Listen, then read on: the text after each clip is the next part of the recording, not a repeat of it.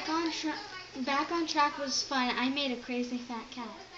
I uh, made these two flyer, flyer, fireflies um, with these paintings that kids made, and it was really fun. Even as Flag accidentally wrote a sharpie on the whiteboard.